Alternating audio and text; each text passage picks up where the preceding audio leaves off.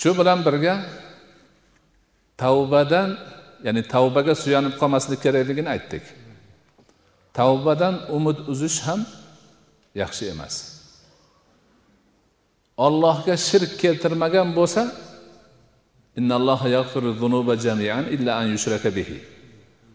qur'onda kelgan. Barcha gunohlarni kechiradi illo bitta gunohni. Shirk keltirsa kechirmaydi. Qolganini kechiradi.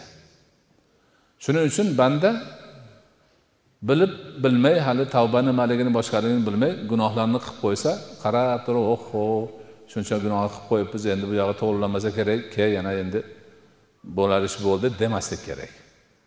Oldingi hadisda aytganda g'arg'ara holida kelmasdan turib tavba qilib qolsa bo'ldi. U yog'i ollohni o'ziga havola. Mana shu ma'noda buyuk bir hadis bor. U hadisni nomi muhaddislarni ichida yuz kishini o'ldirgan odamni hadisi deyiladi.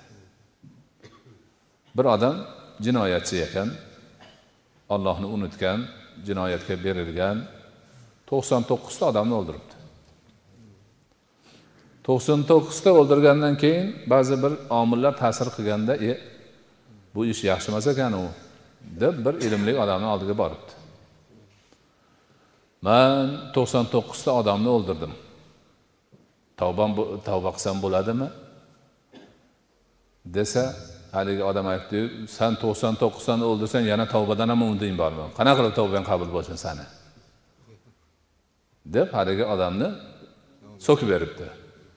Shart turibdida uni ham kallasini olib yuzta qilibdi mana bo'lmasa debdida yana boshqa bir odamga boribdi.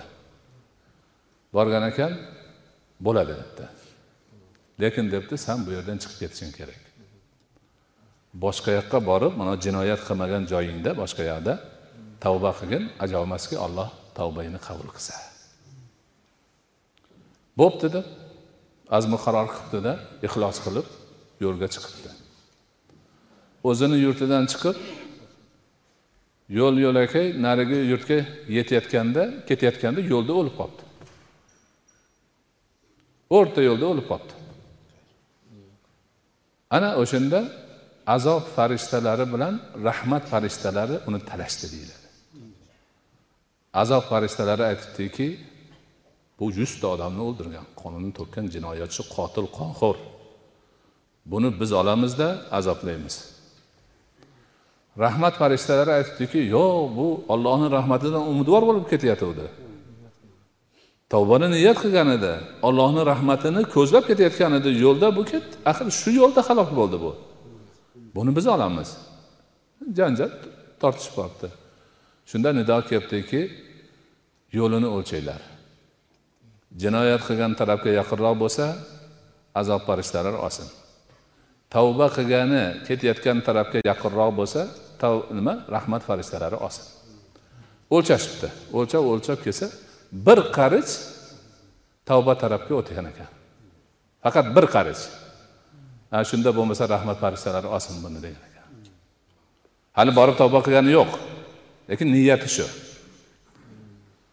Shuning uchun mo'min musulmon bandalar hech qachon tavba kech bo'ldi demasligi kerak. Aqli hushi joyiga keldimi? Gunohni tushunib yetdimi?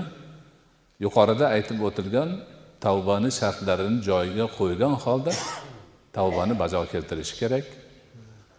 Ana o'sha qilib turgan yomon ishlaridan chetlanishi kerak. Oldingi bo'lib o'tganlariga afsus qilish kerak. Kelajakda hech bir gunohni qilmaslikka azmi qaror qilish kerak.